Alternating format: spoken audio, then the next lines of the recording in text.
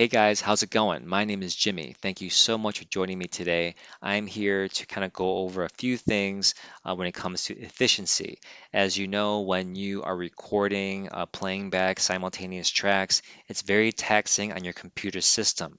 So you need to make sure you have loads of space available. So always make sure that you have uh, at least half of the gigabytes available in your computer ready to go.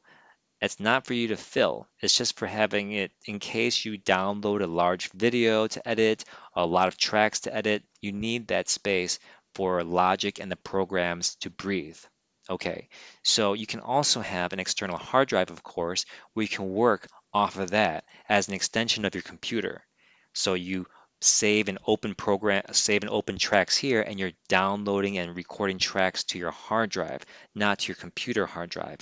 I personally do not work like that um, because I like to edit sometimes while I'm in watching a TV in another room, right?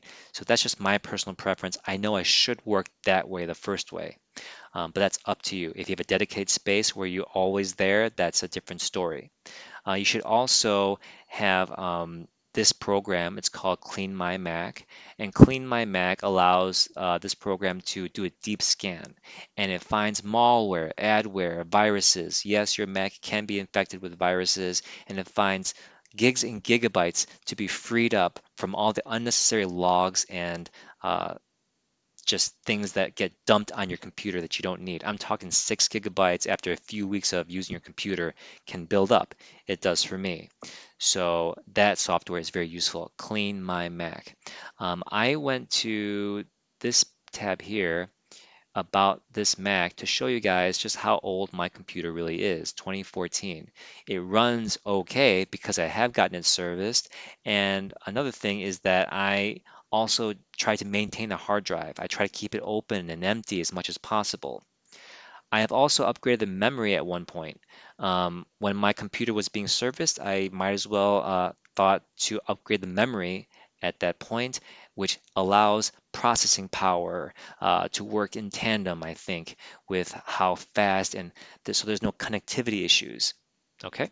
Uh, speaking of connectivity issues, I had a lot of problems with my computer just disconnecting, shutting down, stopping, and stuttering. So here's what we're going to do now. Oh, by the way, one more thing.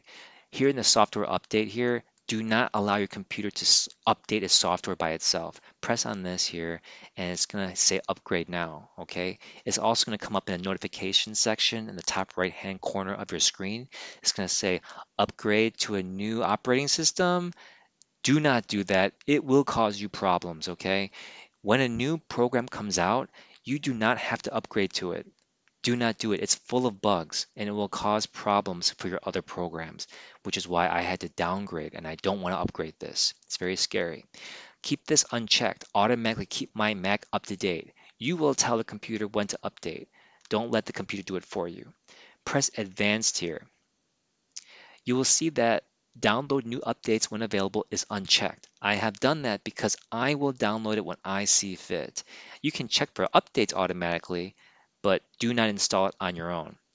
I also have here install system data files and security updates checked. Um, you can update security files separately from things like Big Sur or the next big operating system, okay? You can upgrade certain parts. I'm fine with installing new security updates. I'm not okay with upgrading the new secure this new software without me knowing it. I've made that mistake before. Okay, so go to uh, the Apple icon here and go to System Preferences. System Preferences is a place where you can adjust your trackpad, how fast it responds to your fingers. Uh, click on all these and adjust them the way you see fit.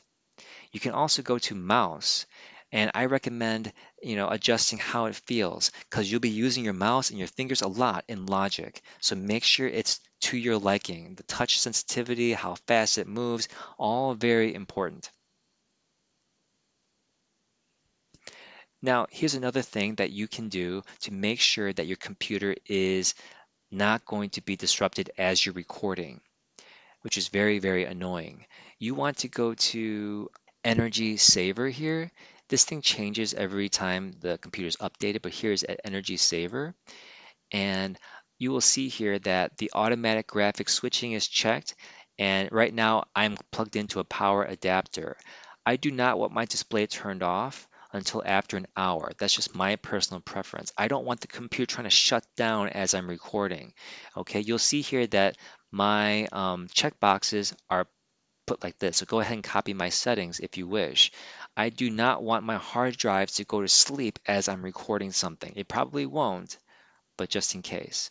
Okay, on the battery, I have it set to very short to uh, go to sleep. I don't record without making sure my computer is plugged in, so this one doesn't really matter to me as much.